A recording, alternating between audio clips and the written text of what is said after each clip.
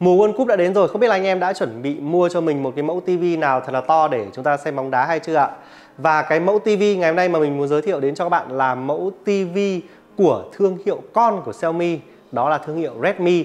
Đây là TV Redmi X75 2022 và ngay từ tên gọi của nó thôi là các bạn đã có thể thấy là cái mẫu TV này nó sẽ có một cái kích thước màn hình rất lớn lên tới là 75 inch. Trời ơi 75 inch thậm chí nó còn lớn hơn cả cái TV ở nhà mình để mình xem World Cup bây giờ. Và với cái TV này thì mình phải đứng để quay. Chứ nếu mà mình ngồi để quay như thế này thì chắc là người mình nó sẽ lọt thỏm với cả cái TV này mất. Và cái TV này nó sẽ có rất là nhiều những điểm nhấn. Ví dụ như là ừ, ngoài cái việc là màn hình 75 inch ra thì độ phân giải hiển nhiên sẽ phải là 4K rồi. Nhưng nó sẽ còn có cả tần số quét 120Hz nữa cơ các bạn ạ cấu hình thì cũng khá là ổn. RAM 3 bộ nhớ trong 32 có thể giúp các bạn download rất là nhiều các cái ứng dụng về nữa. Vậy thì ngoài những điểm đó ra TV này có điểm gì đặc biệt? Hãy cùng bắt đầu với mình ngay trong video ngày hôm nay. Và chào mừng các bạn đã quay trở lại với kênh YouTube Dương Dê. Cái mẫu TV này thì các bạn có thể nhìn thấy là ở trên cái ờ, uh, TV này nó có cái dòng chữ đấy là Redmi ở đây. Thì thực ra là Redmi là thương hiệu con của Xiaomi thì chúng ta đã đã, đã quá là quen thuộc rồi đúng nào? Đầu tiên là về phần thiết kế thì thực sự là cái thiết kế này nó không lẫn vào đâu được, nó vẫn giống như là cái phong thiết kế chung của các cái mẫu TV của Xiaomi thôi. Đấy, chúng ta sẽ có cái phần chất liệu này, khung này thì sẽ là khung kim loại luôn nhé các bạn nhé. Đấy, khung kim loại luôn. Ở phía sau này thì ờ, cũng là kim loại luôn này phun kim loại đấy. Và cái tivi này thì nó sẽ có khối lượng là tầm khoảng dưới 30 kg đấy, tuy nhiên là nói thế thôi chứ một người chắc chắn là không thể bê được đâu, bởi vì là nó rất là to. Đấy nói là khối lượng 30 kg thế để ví dụ như là nếu bạn nào mà không muốn để tivi lên kệ như này mà bạn muốn treo tường thì cũng không cần phải lo xem là có sợ nó bị nó bị lở tường hay không đâu không phải lo cái điều đấy. Treo cả trăm kg lên còn chả sợ nó không chỉ có 30 kg như thế này. Tiếp tục nào chúng ta sẽ nói về cái phần viền này sao? Thì phần viền này thì mình thấy là nó khá là mỏng đấy. Đấy và khi mà chúng ta nhìn vào cái tivi này nhìn từ xa ấy, thì chúng ta sẽ còn cảm thấy là cái viền này nó mỏng nữa cơ. Nhìn nó trông như là một cái tấm kính về màn hình thì như thế nào? Ngoài cái việc là màn hình của nó là 75 inch có độ phân giải 4K và tần số quét là 120Hz thì cái màn hình này nó còn có cả Dolby Vision và nó sẽ có cả cái tính năng bù chuyển động vào nữa. Cái tính năng bù chuyển động MEMC này nó sẽ giúp cho các bạn khi mà xem bóng đá ấy, chúng ta sẽ cảm thấy nó mượt mà hơn này. Hay là đặc biệt là bạn nào mà là fan hâm mộ của giải đua F1 ý, thì các bạn sẽ thấy là khi mà xe ô tô mà nó đua nó rất là mượt mà. Đấy và cái công nghệ bù chuyển động này thì nó cũng sẽ giúp cho chúng ta khi mà kết nối với các cái thiết bị khác để chúng ta chơi game ấy, nó cũng sẽ cho chúng ta cái hiệu ứng thị giác nó mượt mà nó tốt hơn. Tuy nhiên một cái vấn đề của cái à, màn hình này là gì?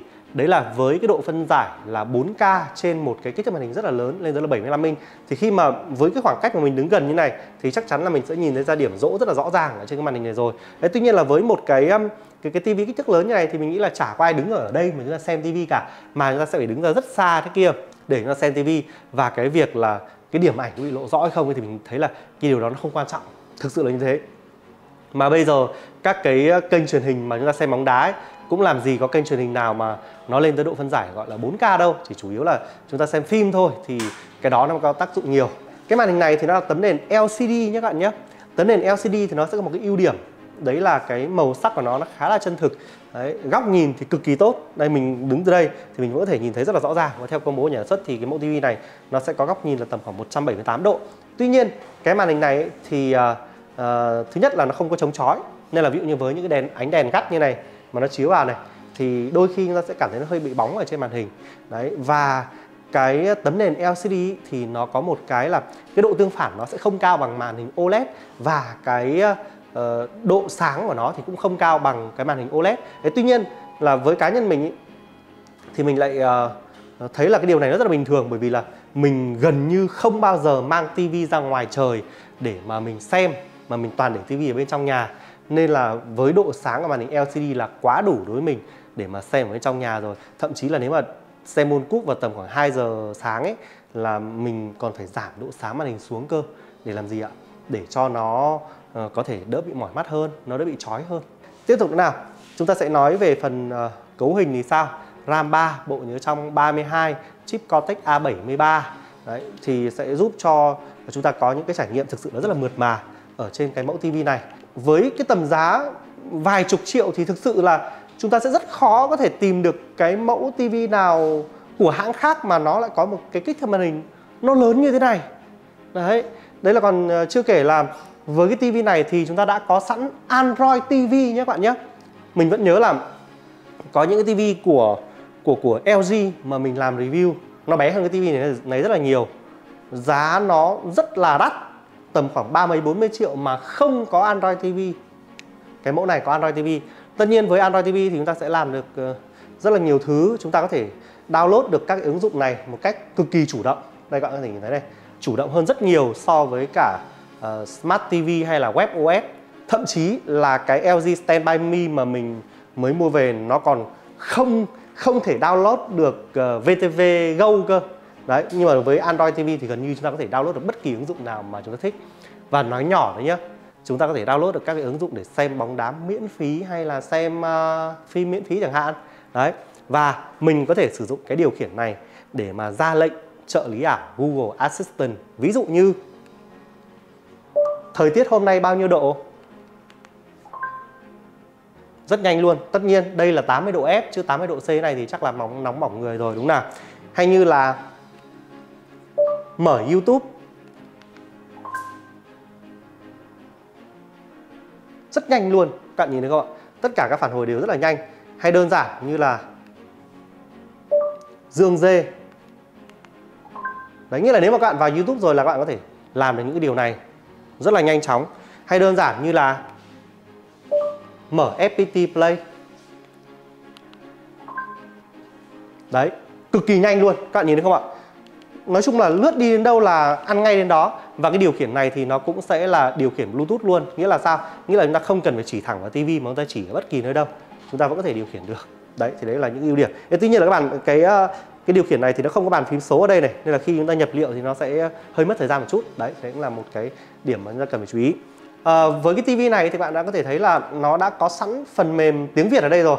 Đây các bạn nhìn thấy không ạ? Tiếng Việt này. Và giờ ở ngoài màn hình chính nhá, thì đúng như là cái giờ ở trên cái đồng hồ của mình luôn.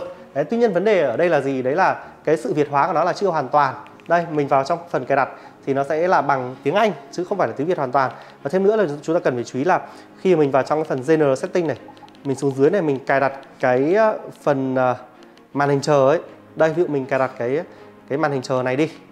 Thì ờ, cái giờ nó sẽ bị sai mất một tiếng. Đấy nó sẽ nhanh hơn một tiếng bởi vì là hiện tại nó đang, đang vẫn đang update cái giờ Trung Quốc. Đấy thì cái đấy cũng là cái mà chúng ta cần phải ý. Nhưng mà đối với bản thân mình thì thì thực sự là mình chả bao giờ để màn hình chờ cả. Nên là cái điều đó đối với mình cũng không quan trọng. Rồi tiếp tục nữa nào. Nói về phần loa của cái mẫu TV này thì sao? Mẫu TV này sẽ có cái loa là khoảng 25W ở hai bên luôn. Mỗi bên là 12,5W nó sẽ cho chúng ta cái hiệu ứng giả lập âm thanh stereo đấy chứ còn uh, nếu mà các bạn muốn nghe hay thì mình cũng khuyên các bạn luôn là chúng ta nên mua thêm sao ba hoặc là chúng ta mua thêm loa bluetooth. Chứ nếu mà bảo là loa của tivi mà nghe hay bass to cái thứ là chắc chắn là sẽ không có đâu. Nhưng mà với cái tivi này thì chúng ta xem môn cúp vào buổi tối thực sự là mình chỉ cần bật âm lượng 30 lên thôi. Mà lúc nào mà ông biên cương với ông khắc cường mà ông ấy hét lên thì chắc là cũng phải vặn nhỏ xuống. Là nói như thế là để cho các bạn biết rồi đấy. Còn loa tivi đối bản thân mình thì chủ yếu là mình sẽ xem bóng đá này, xem thời sự hay là xem phim cái thứ thôi. Chứ còn nếu mà nghe nhạc ấy thì mình sẽ phải luôn luôn có thêm cả bộ loa ba hoặc là thậm chí là phải mua loa thùng về để mình nghe. Còn về cái công suất tiêu thụ điện của cái mẫu tivi này thì các bạn cứ ước tính là tầm khoảng 4 tiếng đồng hồ mới hết một số điện. Mà những người người ta đã mua cái tivi tầm khoảng 75 inch như này rồi thì ai còn để ý đến tiền điện làm gì nữa. Đấy nếu mà để màn hình chờ một lúc này chúng ta sẽ thấy như này đấy nhá. Ok chưa thế còn về các cái cổng kết nối thì sao? Vô cùng đầy đủ luôn nha các bạn nhé HDMI rồi cổng AV, VGA, ATV đầy đủ hết.